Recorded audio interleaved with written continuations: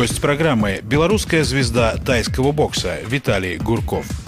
На этой неделе не очень приятная новость, то, что я немножко повредил руку в процессе подготовки, а приятное то, что услышал конечный результат э, своего творчества, потому что участвовал э, в записи музыкальной композиции группы Handmade, в котором попробовал себя в качестве исполнителя. Транспортному налогу быть. Президент Беларуси подписал закон о республиканском бюджете. Open Air года. 300 тысяч белорусов встретили 2014 под открытым небом. Погоня за «Жигули» лихача на авто советского автопрома тормозили стрельбой.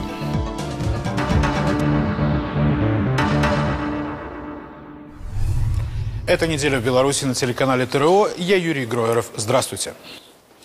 И сейчас мы узнаем, чем жили белорусы уходящие 7 дней.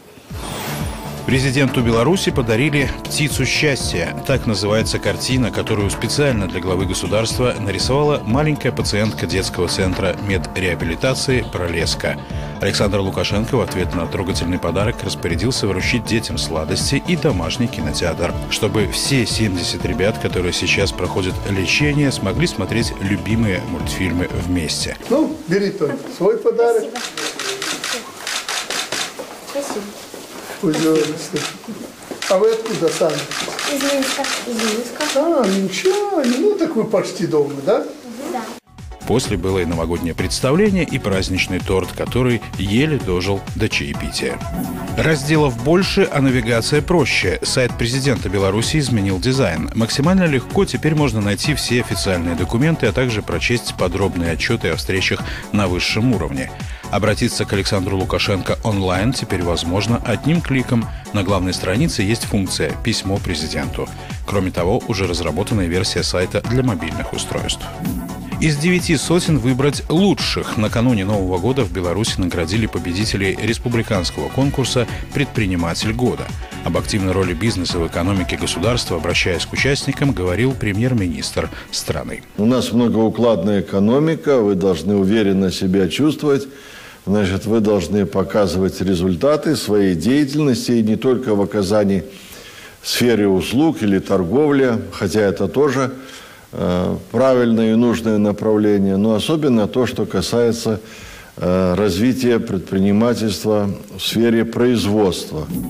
Глава государства утвердил определяющие документы для развития страны на 2014 год. Так, рост ВВП запланирован на 3,3%. Среднегодовая ставка рефинансирования составит 14-16% годовых. Кроме того, предусмотрен ввод в эксплуатацию 2,5 миллионов квадратных метров жилья с господдержкой. Ночь с 31 на 1 у белорусов традиционно началась с поздравления президента Александра Лукашенко. В своей речи глава государства отметил успех в решении демографической проблемы. Впервые после 1990 года обеспечен прирост населения страны. Также лидер подчеркнул значимость суперинновационного проекта белорусской АЭС. Напомню, начало строительства было положено также в 2013-м. Александр Лукашенко отметил и работу конструкторов БелАЗа. Они собрали самый большой в мире 450-тонный самосвал. У каждого, кем бы мы ни были, детьми или взрослыми, богатыми или не очень, молодыми или пожилыми, есть одно бесценное достояние – это наша страна, Беларусь. Теплый, обжитой и уютный дом, который мы должны передать новым поколениям, безопасным и обязательно – благополучным.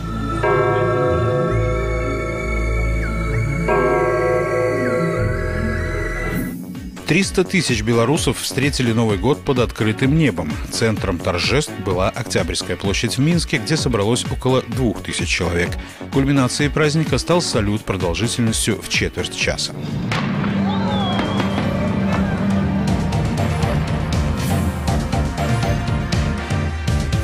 Так давно в России завершилась так называемая Олимпиада по бойцовским единоборствам. Честь Беларуси отставила команда вместе с десятикратным чемпионом мира по тайскому боксу Виталием Гурковым. Виталий, здравствуйте. Здравствуйте. Виталий Гурков, 28 лет, родился в Минске, заслуженный мастер спорта. Всю жизнь тренируется у знаменитого белорусского специалиста Дмитрия Пясецкого. Первый бой по тайскому боксу провел в 2001 В 2010 стал финалистом Гран-при К1. В арсенале 10 титулов чемпионов мира. Из 97 боев одержал победу в 85. Не женат. Выступления в России в последнее время наши тай-боксеры вспоминают ну, с какой-то неохотой и говорят о том, что к ним судьи там относятся предвзято. Вы согласны с этим мнением? Не, почему? Мы охотно выступаем в России. И просто проблема судейства, она есть и всегда будет ну, в различных видах спорта, а тем более в том виде спорта, где присутствует такой судейский субъективизм. Просто есть, бывает разная причина Нет, как ну, бы ну, некорректного ну, судейства. А какой субъективизм? Вот опять же, если вы побеждаете ну, э, нокаутом, то как тут субъективно, не субъективно? Ну да, если он это лежит... Объективно победа. Е, если человек лежит, а я стою, то он, никто не, мне не докажет, что я проиграл. Да, есть такое. Но опять же, когда два спортсмена классом приблизительно одинаковые, и, как говорится, бой идет такой вот кость, кость в кость, достаточно, ну и никто никого, никто, никто никого не нокаутирует. Ну, как определить победу? Ну, как отдать ну, как, победу? Есть же система подсчета баллов, есть попал, же, не попал. Да, вот есть система подсчета баллов, но тут много разных моментов. Во-первых, бывают э, судьи э, неподготовленные в том плане, что вот я выхожу на ринг, я заслуженный мастер спорта и в принципе, профессионал своего дела, многократный чемпион мира, да, и мою работу в ринге оценивает человек, который о этой работе не имеет ни малейшего представления. Он прошел какие-то там отборы, семинары, и отсудил какие-то соревнования, но он не знает, как побеждать, как тренироваться, как работать над собой, э, не видит э, картинку боя вообще ну, психологически. Вот эта проблема, это проблема местная или это такая это общемировая? Все это все общее, общая мировая проблема, скажем так. Само название этого вида спорта, тайский бокс, да, ну, сразу такой придает налет экзотичности определенный. Э, на ваш взгляд, почему, в общем-то, в срединной европейской стране, маленькой Беларуси, этот вид спорта получил такое развитие? Ну, почему именно в нашей стране? Потому что, мне кажется, есть какая-то предрасположенность, скажем так, к единоборствам в целом. И есть какой-то характер у людей.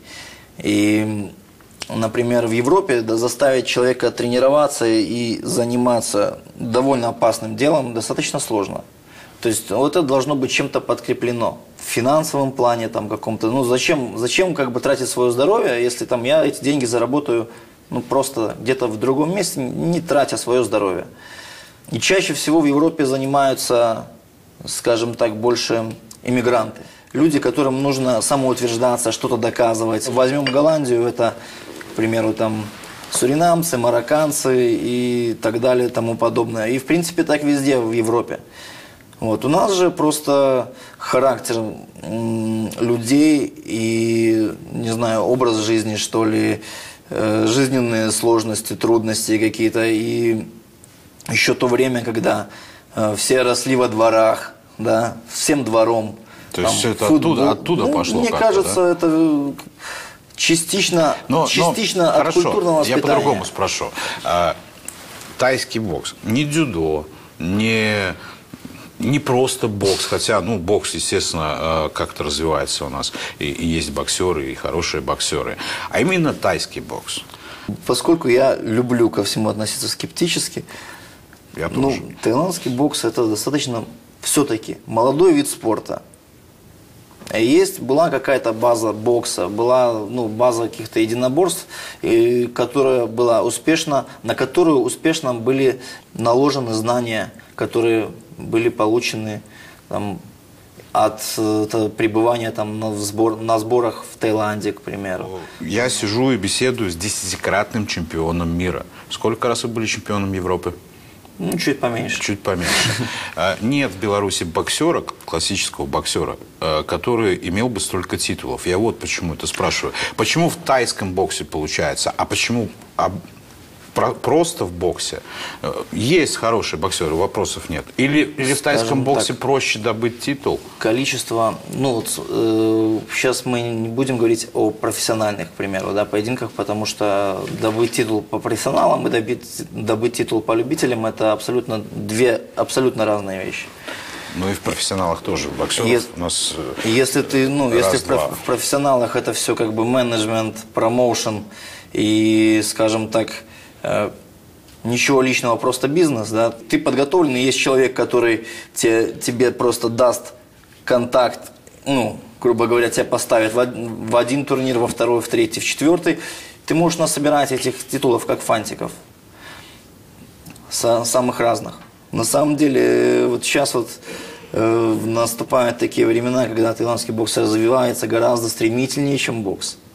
Просто Может, и олимпийским видом спорта станет когда-нибудь. вполне возможно. Вас узнают на улицах Минска? Бывает. А бывает, что эта публичность вам как-то мешает? Если серьезно к этому относиться, то, конечно, напрягает. А если иногда просто относиться к этому с улыбкой, как бы не заморачиваться на то, что, когда, в как- какое время там ты что-то сказал, там кто об этом что подумает, и ну тогда как-то это все легче становится. А где чаще узнают, в Минске или в других городах? Ну, если касаемо Беларуси, то, конечно же, в Минске. Я живу в Минске, это мой город, и поэтому узнаю чаще всего в Минске. Вскоре мы вернемся к разговору, а пока о других событиях недели. Закон о республиканском бюджете на 2014 Александр Лукашенко подписал в последний день года. Статьи этого документа белорусы обсуждают до сих пор. Самой животрепещущей оказалась тема транспортного налога, который, к слову, есть в России. По новому закону всем автовладельцам перед прохождением техосмотра необходимо будет уплатить пошлину за выдачу разрешения на допуск транспортного средства к участию в дорожном движении. Для физлиц, чьи легковушки весят не более полутора тонн, сумма сбора составит три базовые величины. Для тех, чьи авто превышают 3 тонны – 10 базовых. Грузовики, прицепы, автобусы и мотоциклы также облагаются налогом. Напомню, базовая величина в Беларуси – это чуть более 13 долларов в эквиваленте. Кроме того, с 1 января, как и обещали ранее в Минэнергетике, подняты тарифы на газ, тепловую и электроэнергию. В Минске стартовал 10-й международный рождественский турнир по хоккею среди любителей на приз президента Беларуси. В столицу прилетели спортсмены из России, Украины, Канады, Словакии, Австрии и не только. Всего 12 команд. В проведении соревнований задействованы 4 рядовые площадки, в том числе недавно построенная Чижовка-арена. Смельчак на «Жигули» устроил гонки с ГАИ. Патрульным пришлось открыть стрельбу по голубому вазу, когда его водитель, чтобы скрыться, увеличил скорость. Нарушителем оказался 28-летний житель Гомельской области, пьяный и без прав. В отношении задержанного составлено сразу несколько административных протоколов. На неделе наши корреспонденты снова поинтересовались, что же волнует жителей союзного государства. Наша постоянная рубрика «100 вопросов о Союзе».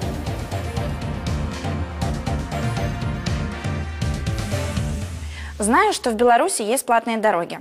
Подскажите, кто должен платить при проезде по ним и как это контролируется? Проезжая определенные участки на белорусских автомагистралях, не гражданам Беларуси необходимо внести оплату. Для этого нужно обязательно иметь специальное устройство, которое можно получить на границе при въезде в страну. Тарифы зависят от массы автомобиля. Штрафы для легковых авто от 50 до 100 евро, для грузовиков от 130 до 260 евро. Круглосуточный контроль осуществляет транспортная инспекция. А теперь наша постоянная рубрика «Неделя в истории». Узнаем о знаковых событиях разных лет. 30 декабря 1918 года, 95 лет назад, на базе Минского учительского института был основан Минский белорусский педагогический институт. Единственное в стране высшее учебное заведение, которое готовило учителей средних школ. Обучалось 150 студентов, срок обучения был 4 года. 30 декабря 1978 35 лет назад введена в действие первая очередь Жлобинского завода искусственного меха. И сегодня предприятие позиционирует себя как ведущий европейский производитель трикотажного меха. 1 января 1919 года, день провозглашения БССР. 95 лет назад началась новая эра в нашей истории. Территория республики охватывала почти все земли, где проживали в то время белорусы, от Белостока до Смоленска. 1 января 1929 года, в 10-ю годовщину образования Белорусской ССР, состоялось торжественное открытие Академии наук в Минске. Штат сотрудников на то время составлял всего 128 человек, однако с самого начала Академия наук стала ведущим научным центром, влияющим на экономическое, технологическое, социальное и культурное развитие Беларуси. 3 января 1919 года облсполком Западной области и фронта самораспустился, передав власть Временному правительству СССР Белоруссии. 5 января 1919 года правительство СССРБ переехало из Смоленска в Минск. Белорусы вас знают как не только талантливого спортсмена, но и большого любителя национальной культуры. Вы один из первых спортсменов заговорили в прямом эфире на белорусском языке. Это родительское воспитание или вы сами к этому пришли? Это больше такое самоосознание и друзья, окружение, скажем, скажем так. Ваши друзья э, да, меня есть, говорят э, по-белорусски вот, да. в, в обиходе? Да, в повседневной жизни. Ну, вы до- добро размовляете на белорусской мове? Да. Ну, я не маю ск- складанностью, скажем так, з мовой. Вы, к сожалению, уникальный спортсмен для Беларуси. Э, Почему говорю к сожалению? Потому что не каждый, кому предлагают выгодные контракты за рубежом, отказывается, как вы, чтобы выступать за свою страну, за Беларусь. Но, скажем, были некоторые возможности, которые, ну, от которых пришлось отказаться. Во-первых, дом есть дом. Ты нигде не нужен так сильно, как ты нужен дома. Потому что спортсмен – самая социально незащищенная профессия вообще во всем мире. И сегодня, ну, не дай бог, там, если что-то случится, там какая-то травма, то всегда всякий спортсмен, он просто выброшен, скажем так, отодвинут, где бы ты ни был. Не знаю, там, в Европе, в Америке, там еще где-то. У нас тем более. Но у нас хоть э, ты на своем месте. Есть медицинское обслуживание, есть отношения, есть э, врачи, там, специалисты, которые ну, к тебе относятся просто уже за это время как, не знаю, Родному. как к родному, да. Вот это вот тепло и доброту вот эту вот человеческую просто нельзя променять на что-то там другое. Я А, вам так скажу. Вот тайский бокс – это дор- дорогой вид спорта, но в нем можно хорошо зарабатывать. Вот, Могу вот. честно ответить. Если можете ответить, вот сколько вы зарабатываете? Я вам могу сказать, что э, ну, на каждого спортсмена есть индивидуальный план, да, который он выполняет, э, либо не выполняет. Бывает. да, по, по итогам соревнований. И вот зарплата, она колебается от 2 миллионов до 9, 9, ну, 9 миллионов. Где-то вот так вот плавает Но- туда-сюда, но, но это, туда-сюда. но это просто это только зарплата, как э, член национальной сборной, которую вы получаете. Ну, это, это такая государственная поддержка. А, Это максимум то, что можно иметь, да, государственной поддержки. Да, а ну, есть же какие-то еще, наверное, способы заработка в, тайском Ну, боксе? ты можешь, э, не знаю, тренировать, вести какие-то группы там. А участие в каких-то коммерческих турнирах э, А есть, коммерческие турниры, все зависит от турнира, от рейтинга, от э, того, где происходит, кто устраивает. Вот э, вы наверняка тоже смотрели не так давно два великих боксера, Поветкин и Кличко. э, И каждый из них после этого боя, вне зависимости, кто победил, а кто проиграл, получил, я не помню точные суммы, но по, ну, по несколько миллионов долларов. Если э, Виталий Гурков э, побеждает на чемпионате мира, или вот э, победил бы на, э, вот на этом питерском э, соревновании, сколько бы заработал Виталий Гурков? Если бы победил, наверное, где-то миллионов 45 Э, белорусских рублей. белорусских рублей. Да. Но это не один бой, это Я три, понимаю. как минимум. Да, да, да. Это получается 4 тысячи, да, или сколько? Ну, примерно 4 тысячи долларов. Ну, Чуть больше, около может того. быть. Да. Э, Напоминаю, гостем нашей программы был Виталий Гурков, многократный чемпион мира и Европы по тайскому боксу. Виталий, спасибо большое. Ну, а мы с вами прощаемся, чтобы увидеться ровно через 7 дней в следующее воскресенье недели в Беларуси на телеканале ТРО. До встречи. Загадывая желания и строя планы, мы должны понимать, если в прошлом году мы не добились чего-то, значит, сами не слишком старались и напрягались. Александр Лукашенко, президент Беларуси, в новогоднем поздравлении. У нас есть полная уверенность в том, что валютная стабильность в стране будет обеспечена, будут расти золотовалютные резервы и, как следствие, стабильность национальной валюты. Михаил Мясникович, премьер-министр Беларуси, на церемонии награждения «Лучший предприниматель года».